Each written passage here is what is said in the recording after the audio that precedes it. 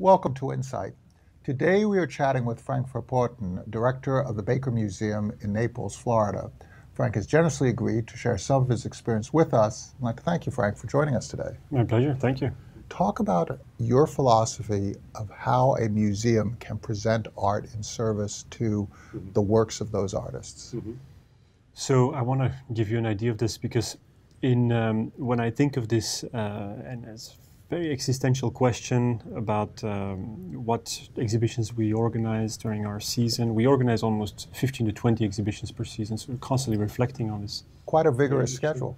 It is a vigorous schedule, and we live in a very particular community, Naples, which is, as you know, um, a very uh, sort of there's a lot of wealth and affluent people. On the Naples is in Southwest Florida constantly we're trying to be very considerate about which exhibitions we organize and we ensure that they are that they relate to our permanent collection. So we have a collection of uh, 19th, 20th century uh, modern American, some European art as well, and increasingly um, contemporary as well, about 4,000 works in the collection. In addition to that, we do have to uh, organize through the let's say the four or five peak attendance months of our season, we try to bring in very high caliber exhibitions that sometimes don't necessarily 100% relate to our exhibition, but that's to our collection. But that's fine because their um, intention is to, uh, again, to bring patrons to the museum. Let's say the block of high attendance, peak attendance for us, and let's say that that's January through uh, April or something, right? Um, not always do we just present exhibitions that were organized by other organizations then? But what I mean by that is we have to ensure that there is some sort of greater appeal factor right. to those specific programs. What that means is also that because we are continually interested in also championing the work of artists who are uh, under were underexposed or anything, right? But those traditionally we will not uh, put those on the on the schedule in that peak season. Right. And you can really debate whether we should, in fact, because very often, you know, we have an, an army of about 40 docents. We're very fortunate um, people who help us. They're really the ambassadors for our programs, right? And with the feedback that I get from them on, on our programs is very um, interesting for us. And time after time, I find that whenever we do present or organize an exhibition where we really present new scholarship on an artist who was underexposed or something, um, that they come back with, um, you know, information uh, about uh, how they feel that this exhibition should be on view in high season. Why don't we? Why do we put it up now? Why don't? Why can't more patrons see this? And I think there is a little bit of hesitation because, of course, we do need to uh, ensure we have the right attendance and that uh, you know our museums are filled. I will add to this, and this is a specific challenge to Naples um, and perhaps in Miami as well, but we're constantly competing with uh, golf and beach goers. And of course, you know, this is like, who am I to say that people on a perfect day in January when the sky is blue and the temperature is uh, 79 degrees, who am I to say that at 11 a.m. those people should not go to the golf course? Uh, should we dramatically change the opening hours of the museum? I've often thought that if we change that entirely around, that we would um, perhaps bring in more more uh, visitors. But it's a little tricky to just say we're not going to open until 2 or 3 p.m. in the afternoon and be open until 9 p.m. for your convenience. I mean, I'm not sure that we're ready to do that. That's a big leap. so, wh- when you look at your collection, how has that collection been shaped? And, and, and talk about any recent acquisitions that you've had. The museum is a very young um, museum and collection, all in all. Uh, it's about 16 years old. And we're really, the museum is part of a multicultural, um, multidisciplinary campus.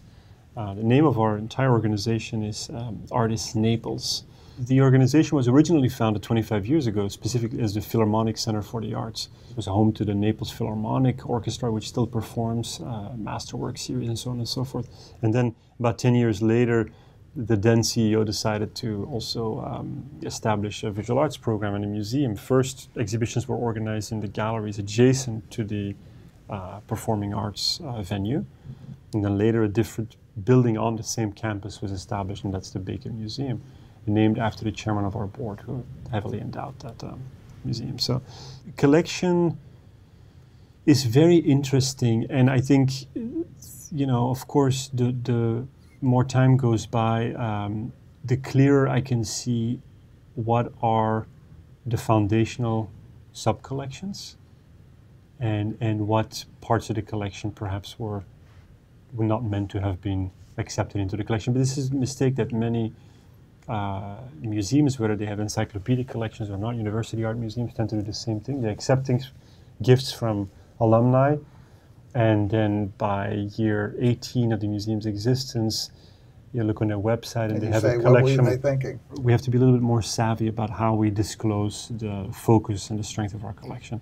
But I will tell you, I've been here now four years, and um, the strengths of our collection were, um, I, I would say, originally there were three foundational collections. One of Mexican modern art, acquired by uh, Harry Pollack and uh, Brian Naprinsky, were both very passionate collectors. And there you have the effect of like collections that were already curated really by very passionate and savvy expert collectors.